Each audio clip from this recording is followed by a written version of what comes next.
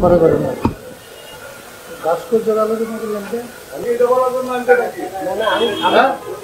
মানে অনেকেই তো না না আপনি কেন বললেন? বুঝলেন আবার শুনেছেন আপনি? আলোচনা একটা গরম করে এলাম বান্দির বাচ্চা। একদম পিঠা এখানকার বলা ঠিক করে এলাম। হ্যাঁ? মারানির বলা। তো রাষ্ট্রবিরোধী কথা যখন একদম পিঠা লোলা গেলাম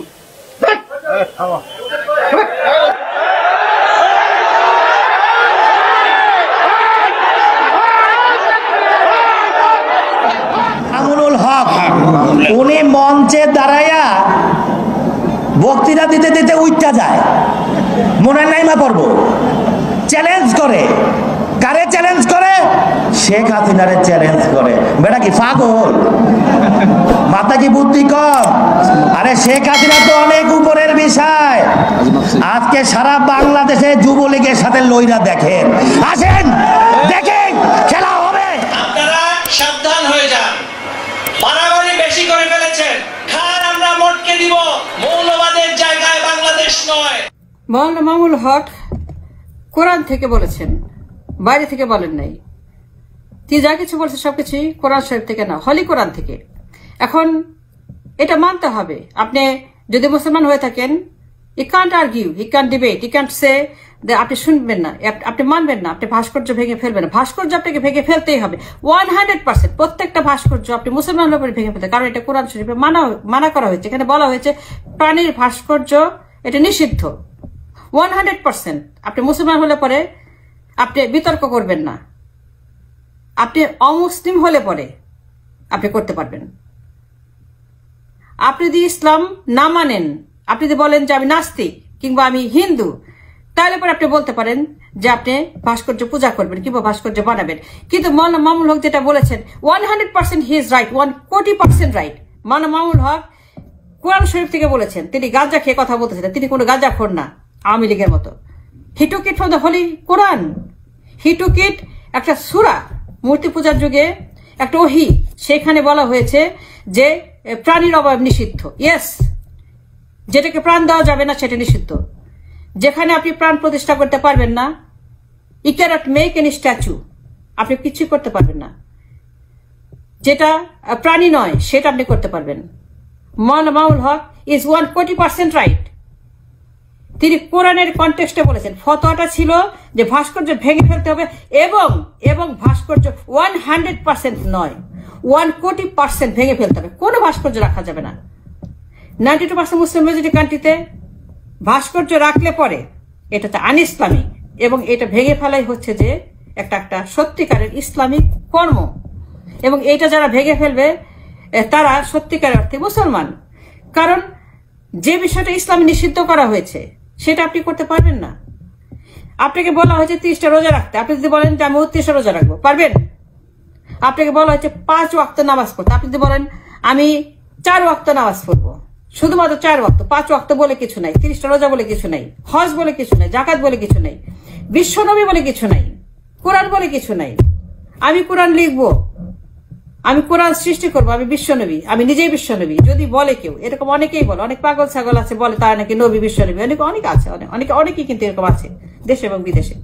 অনেকেই বলেছে তারা নবী, তারা বিশ্বনবী আপনি যদি নিজে নিজে কল্পনা করেন যে আমার মতো করে আমি কোরআন শরীফ রচনা করব এবং আমার মতো করে আমি সেখানে ওহি পাঠাবো। আপনি সেটা করতে পারবেন না। যেটা আসছে পনেরোশো বছর আগে, কিয়ামত পর্যন্ত এটাকে মানতে হবে। এটা বাইরে যাওয়ার কোন রকম অধিকার আপনাকে ইসলাম দেয় না আপনি মুসলমান হয়ে থাকলে পরে মৌলানা মামুল হকের সেই ফতোয়া ওয়ান হান্ড্রেড পার্সেন্ট মেনে সমস্ত ভাস্কর্য ভেঙে হবে। কারণ প্রাণীর অবয়ব নিষিদ্ধ।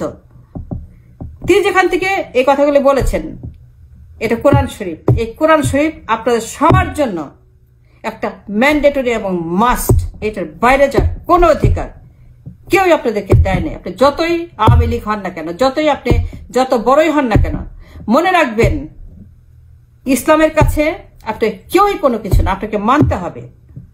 কিন্তু সেটাকে আপনারা অমান্য করে আজকে যা করতেছে Awami League this is completely un Islamic and very much conspiratory activities এখানে ষড়যন্ত্রমূলক কর্মকাণ্ড চলছে। মৌলানা মামুল হক বলেছেন যে ভাস্কর্য ভেঙে ফেলতে হবে। কারণ এই বক্তব্য তিনি কোরআন শরীফ থেকে দিয়েছেন যে ইসলামিক কান্ট্রিতে আন ইসলামিক কর্মকাণ্ড চলতে পারে না। সৌদি আরবে মূর্তি আছে সো হোয়াট তাদের দেশে তো সরি আইনও আছে, আমার দেশে আছে। পাকিস্তানি মূর্তি আছে সো হোয়াট তাদের দেশে সরি আইন আছে, আমার দেশে আছে। আমরা কি শিরকর্তন করি? আমরা কি হাত কেটে দেই?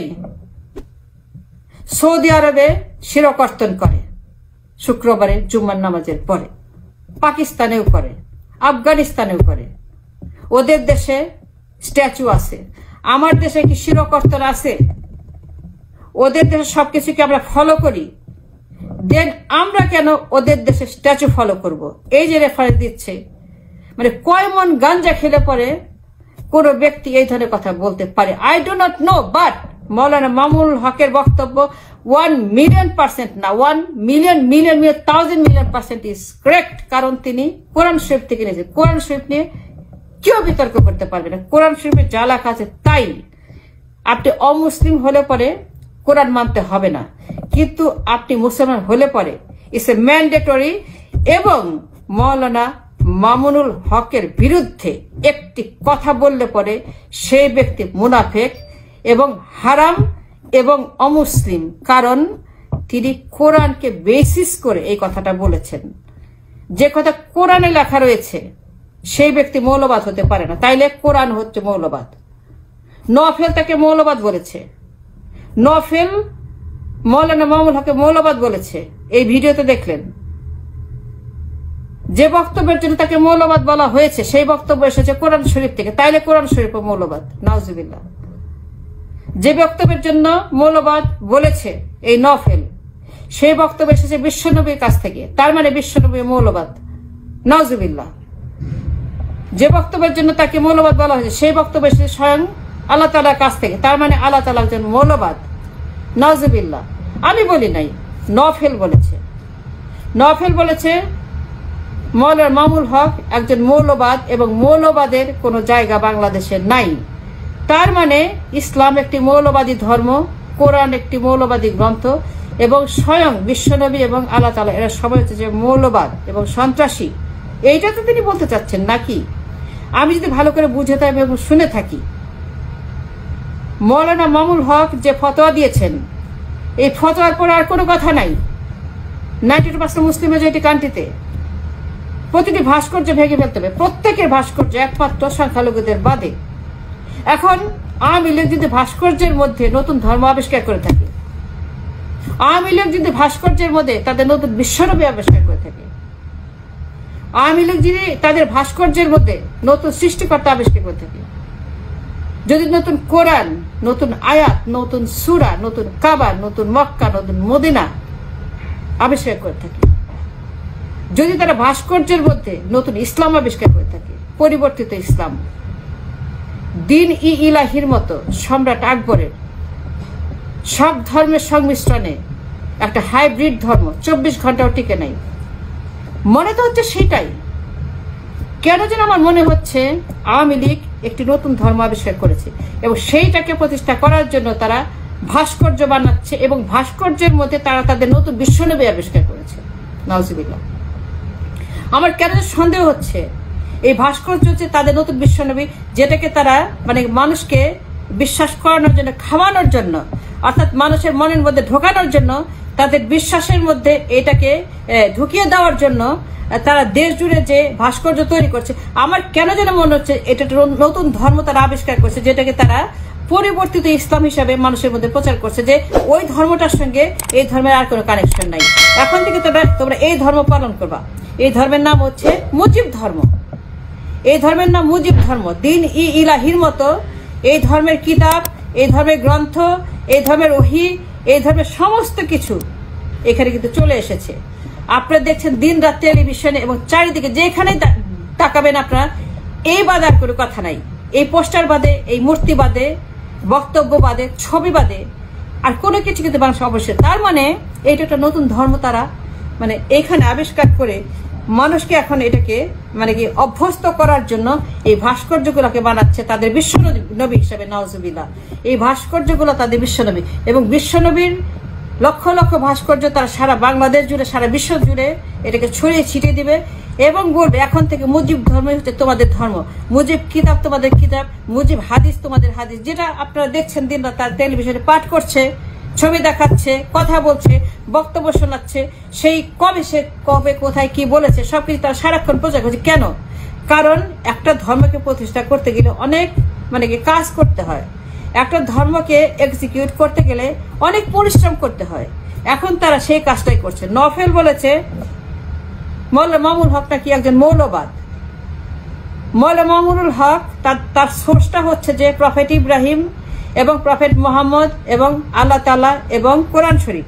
এবং কোরআনের কোনো সুরাতে যদি প্রাণীর অবয়ব নিষিদ্ধ হয়ে থাকে, সেইখান থেকে নিয়ে মৌলানা সাহেব যদি ফতোয়া দিয়ে থাকেন, তারপরে আমাদের সেই নব্য ইসলামের একজন ধারক বাহক সাহেব যদি বলে থাকেন যে, এটা মৌলবাদ মৌলানা মাউল হক একজন মৌলবাদী, তাইলে পরে আপনাদেরকে বিশ্বাস করতে হবে যে, এই ভাস্কর্য, এটা হচ্ছে একটা বিশ্বনবীর ভাস্কর্য, নতুন বিশ্বনবী। Nauzubillah. Hope I made my point clear and thanks for watching.